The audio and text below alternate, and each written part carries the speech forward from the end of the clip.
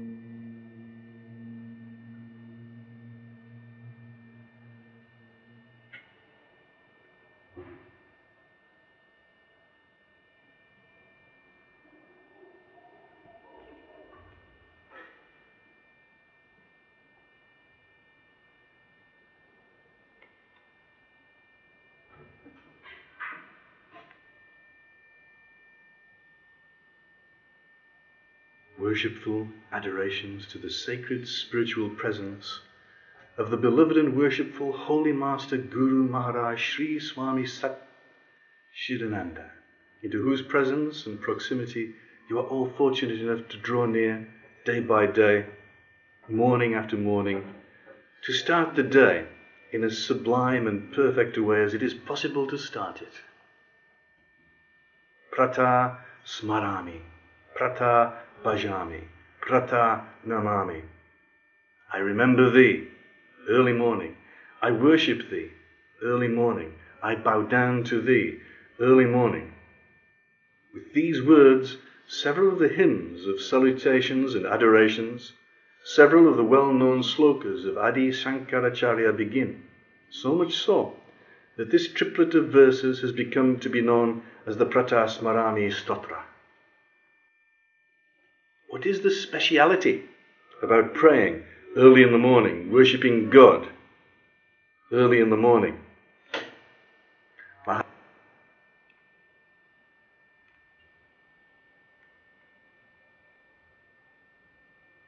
Mahatma Gandhi in Sabarmati Ashram, as well as Sevagram, used to hold their morning prayers when it was still semi dark. There is a reason. There is a speciality in this early morning hour. Start the day with God, they say. And very shrewdly, with a touch of humour, there is also a saying, the early bird catches the worm. Which means it pays dividends to be early. The earlier you are up, the more time you have. The more time you have, the less hurried you are, the less under pressure you are. The less under pressure you are, the less tension, which is better for your health, your heart, your blood pressure, your entire nervous system, even your digestion. This is the pragmatic reason. If you are up early, you have greater leisure. If you are not up early, you are more hard pressed for time, and it is not good to start a day being pushed for time. But what is the higher meaning?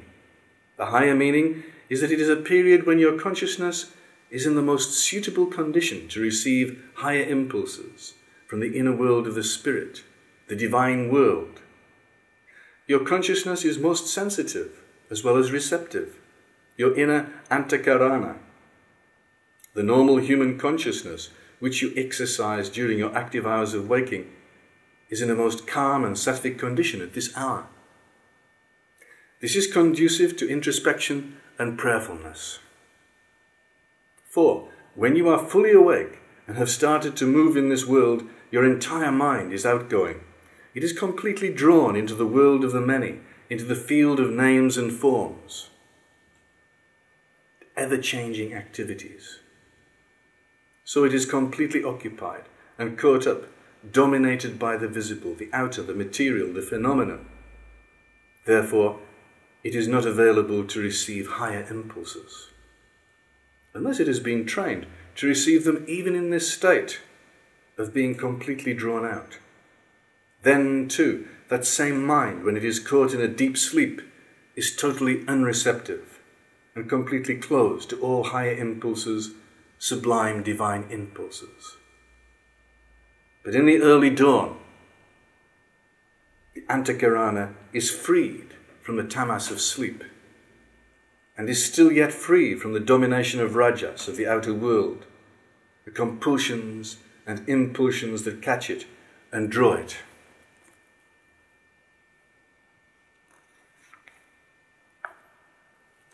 Draw it into this very hectic field of many tasks to be done, many people to see, the very diverse types of thought forms to see in which the mind is required to be engaged and involved in. So, you are free in this interim period from both the handicaps of sleep as well as the shortcomings and involvements of the fully awakened state. Here, therefore, is a period of openness, of receptivity, of sattva, a period most suitable, most propitious, when you can give yourself a lift and enter into God. And that sets the entire tone for the whole day.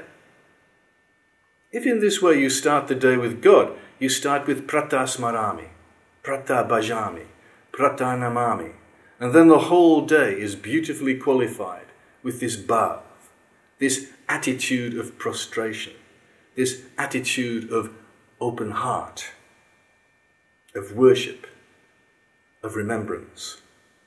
And that is the secret of being in the world and yet abiding in God, being in Kriya, in action, and yet inwardly there is a center of silence, nishkriya, without action. A mystical poet has beautifully given to us in brief this little secret of the right way of starting one's day, so that one reaps a golden harvest of fullest benefit from this charming, this wonderful, this magic period of the early dawn. I met God in the morning when my day was of its best, and his presence came like sunrise, like a glory in my breast. All day long the presence lingered, all day long he stayed with me, and we sailed in perfect calmness over a very troubled sea. So I think I know the secret, learned from many a troubled way. You must seek him in the morning if you want him through the day. Ralph Cushman. Thus, it is that there is a very special quality, a very special state of consciousness prevailing in this interim period between the disadvantages of both sleep and awakeness. Both are necessary, but both contain obstacles in total communion, inner communion with the Spirit, the Supreme. I have a great joy in sharing with you, therefore, this secret of why our ancients said, Prata Smarami, Prata Bhajami, Prata Namami, because they knew this secret, this inner yogic secret, the mystical secret of the state of consciousness that the individual possesses in this early morning dawn hour. It sets the tone for the entire day. And then you live with God, you move with God, you sail the troubled sea of vyavaharic life with perfect calmness and serenity because God is with you. You do the sailing with God as your companion. May we benefit ourselves fully from this golden hour and make each day a further ascent towards the great goal, attaining which you become blessed. May you all become blessed.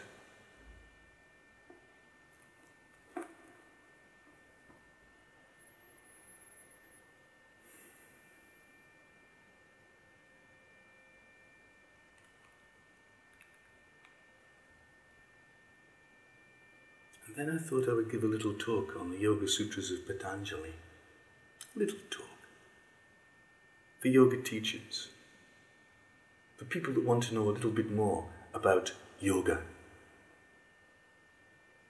The first sutra of the Yoga Sutras of Patanjali starts off with Atha Yoganusasanam, Sanskrit, meaning now the exposition of yoga is being made. But what is the meaning of this yoga? Because yoga comes from the Sanskrit word yuj, which comes from the bridle that the horse wears around its neck in order to connect it with that which it is drawing behind the cart, the chariot. And it has come to mean union. But what is this union? What is this yoga that they are talking about in the Yoga Sutras of Patanjali? This yoga is an integration of your physical body, the cart, with your emotional body, the reins, with your mental body, the mind, with your spirit along the length of the Karana, to the soul, to the monad, the group soul, to the logos the spirit in charge of this planet, to the whole universe, to Atman, the center of the central spiritual universes. And yoga, the word yoga means you are that. Tat tvam asi. You are that. You are a consciousness that can exist at any point upon that line. And it says, now. After all that, here are complete instructions on enlightenment, because that indeed is the meaning of the word yoga. It's not just hatha yoga, it's not just bhakti yoga, it's not just karma yoga, it's not just raja yoga, it's not all these various ladders that take you from here to enlightenment. Yoga itself is enlightenment.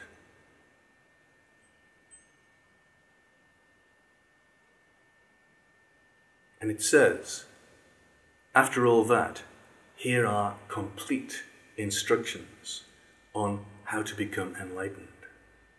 And what does it mean by after all that? Because after all that is a very special place to be. It means that you have done a lot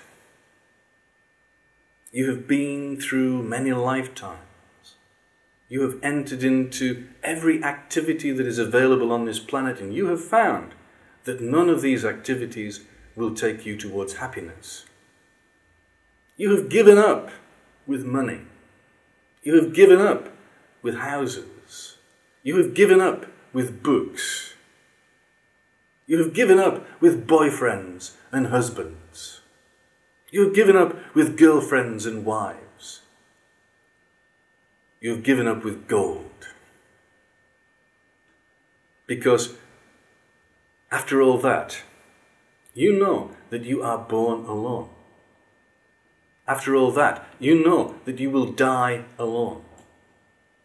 And you must seek your own emancipation by yourself it's very hard to understand that above hell, Dante Alighieri wrote, Abandon hope, all ye who enter here. You have lost hope that anything can give you that happiness. Friendship, people, places, sunshine, everything has a drawback. And you begin to understand in the end that no matter what the outside circumstances are, the only thing that is going to make you happy is you. Because it also means, after all that, here are complete instructions on how to be happy. And in a way, there is no way to learn how to be happy except to know that by connection with God, you are that happiness. And if you are not happy, nobody is happy. You have to know that just being in that state of union, just being in that state of connection, you are happiness. You are enlightened. You are connected. You are a made man.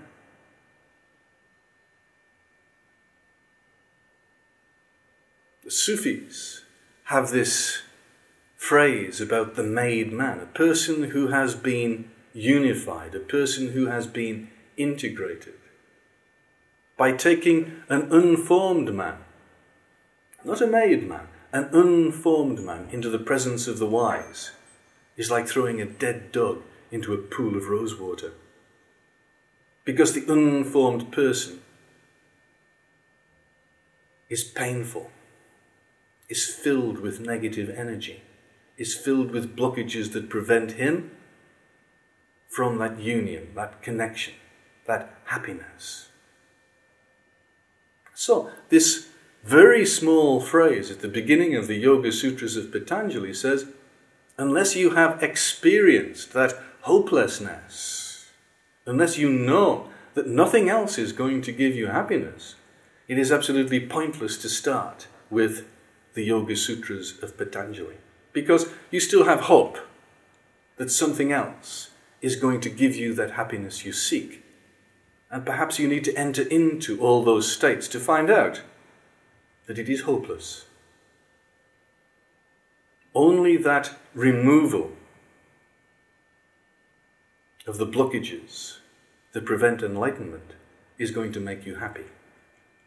And when you reach up to the second sutra of the Yoga Sutras of Patanjali, it says Yogas Chitta Vritti Nirodha. It means yoga, enlightenment comes through chitta, the pure mind, the mind containing within it the emotions, the mind containing within it all the chakras, the mind containing within it the physical body. And chitta is a purified spiritual body. Chitta is the Holy Grail, the Sangreal, the cup which is empty, the cup which has no ego, no thinking that it knows anything. There's a very beautiful story from the Zen master, and the governor of the province comes to see the Zen master, and he comes and sits down and he starts to tell him about his wonderful library. And he starts to tell him about his spiritual experiences. And he starts to tell the Zen master about what a wonderful life he has with his beautiful clothes and his 400 concubines. And the master said, Shall we have a cup of tea?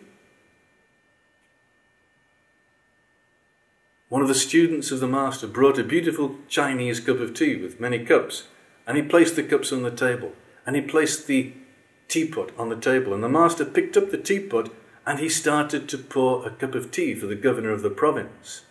And as he poured, the cup filled. And as it filled, it started to overflow the rim of the cup onto the table beneath. And the master kept pouring and pouring. And the governor of the province said, Stop, stop. That is too much. And the master said to the governor of the province, you are like that cup. You are too full.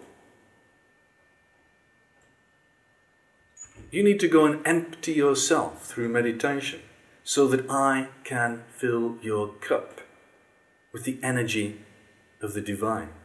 I can fill your cup with the energy of enlightenment because whilst you are full, there is no room for me. And this is the meaning of chitta. Chitta is an empty cup. It is a purified mind. It is a mind which has no thoughts.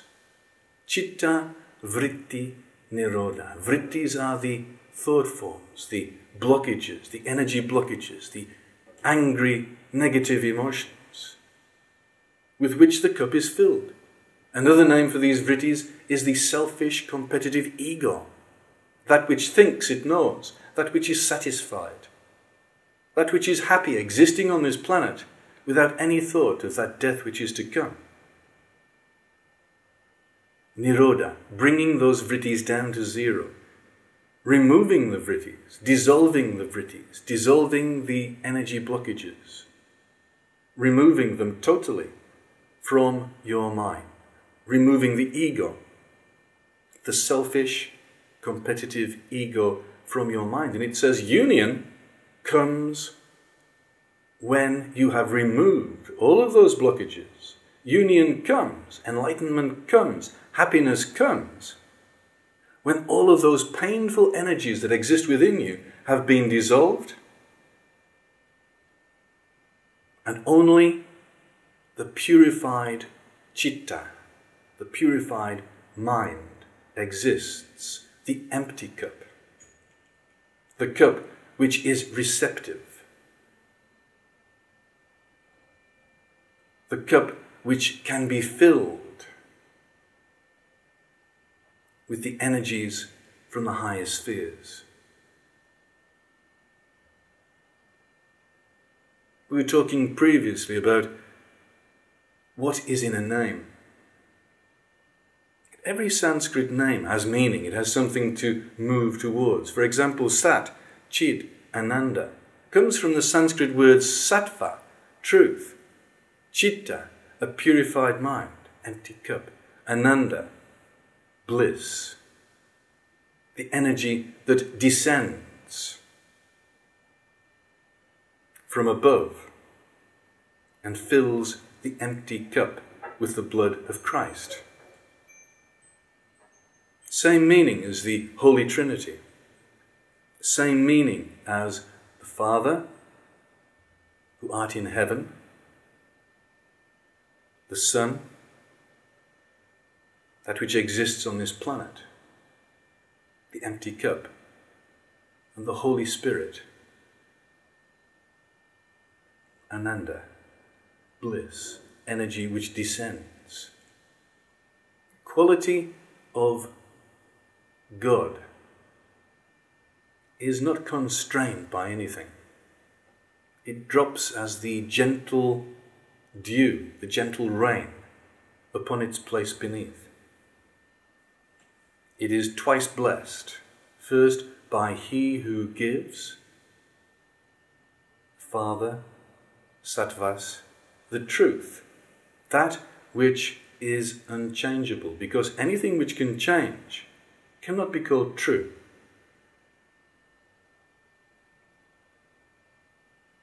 There's nothing on this planet which does not change. Even the mountains are worn away over many millions of years. Everything is changeable.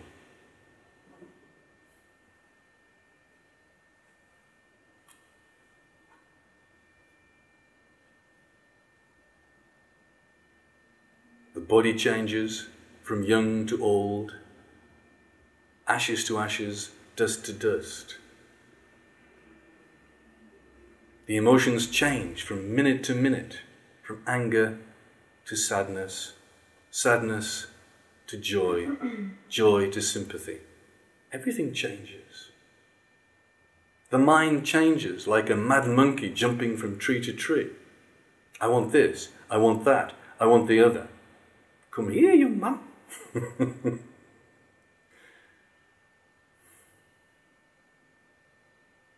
The only thing which does not change is the access to the higher energies. Those energies which fill our cup, and our cup runneth over. Yogas, Chitta, Vritti, Nirodha. Yoga comes when we have removed all of our blockages. Happiness comes when we have got rid of all of those things which are not us, when we have proved that we are in charge. Our selfishness is not in charge.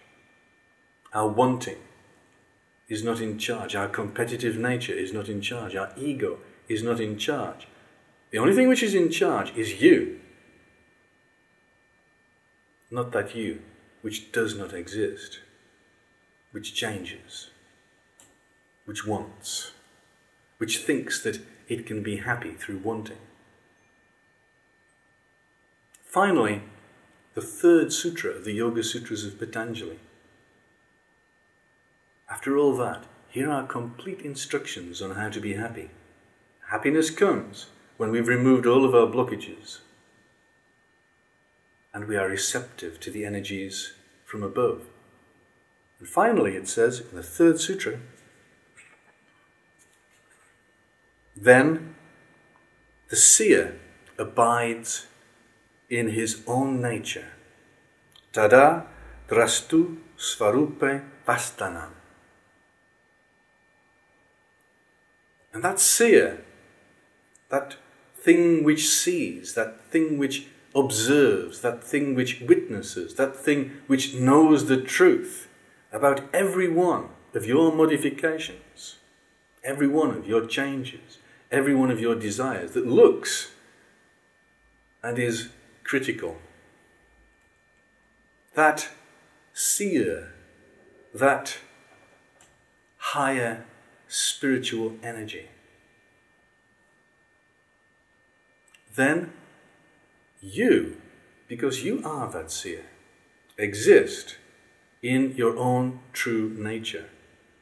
And in a way, this is exactly the same meaning as the Heart Sutra. The Heart Sutra from Buddhism and the Third Sutra from the Yoga Sutras of Patanjali mean exactly the same thing. all sages, for millions of years exist in prajna paramita.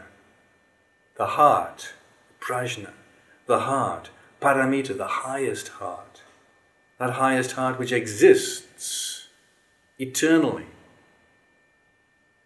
higher than the highest chakra, higher than the center of the universe. That highest heart which is you.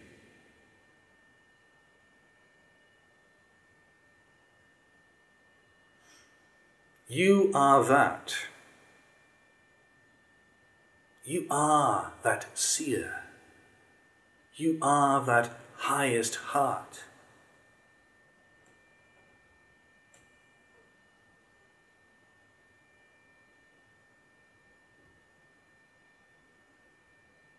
This is the beautiful message of the Yoga Sutras of Patanjali. It says here, after all that shit, here are complete instructions on how to be happy. And it says, you will never be happy by associating yourself with this body on this planet because this body is going to change, it's going to go. It says, connect. Only connect with that which is unchangeable, with that which is pure, with that which exists eternally. It gives that promise of eternal life. Because you are that. You exist unchangeably. And every few years you descend into another motor car, or we can call it a body, and we get given the manual that says, put in the good fuel, don't eat crap. Look after your motor car, give it a good wash now and again. Put in the good oil, put in the good petrol. Don't drive it too fast.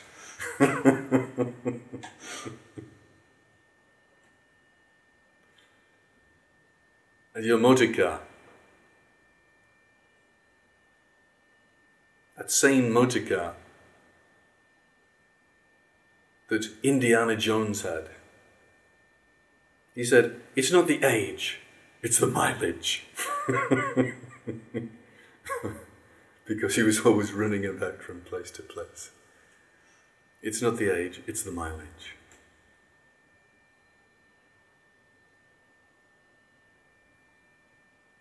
How many miles have you run today? How far have you pushed yourself? Hindus say that you're only given a certain number of breaths in your life. Don't use them up too quickly. Master pranayama.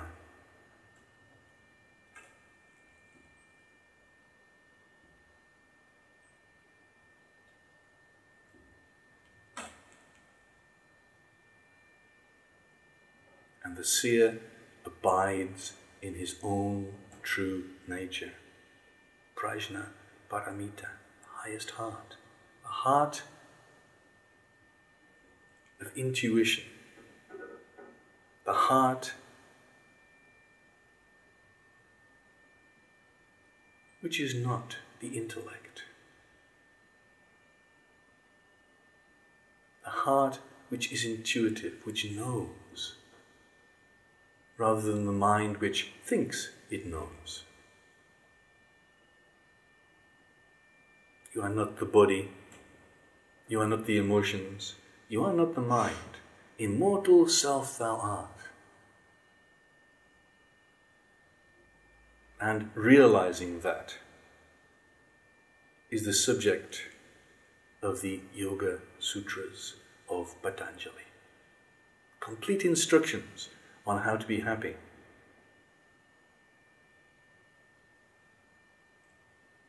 And this is why it is a really good thing for everyone, for every yoga teacher to have read this beautiful tome.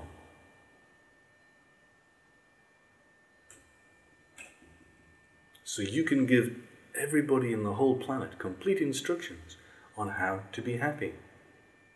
This is the function of yoga. This is the function of a yoga teacher. to give everybody hope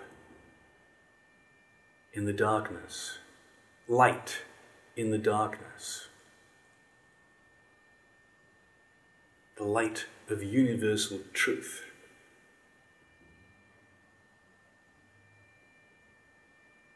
The light of the angels, the light of the highest heart, which loves 100% of the time. Forgive them, Lord, they know not what they do.